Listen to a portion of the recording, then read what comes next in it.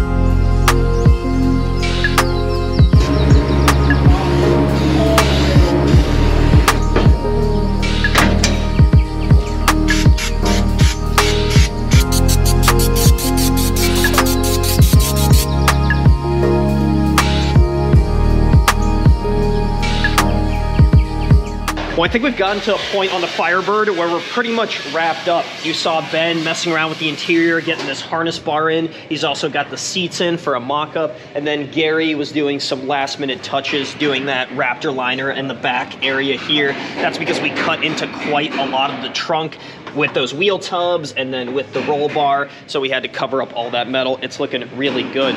We're kind of at a point where we could start taking the wrap off, cleaning this car up, and then the customer can pick it up in the next few days.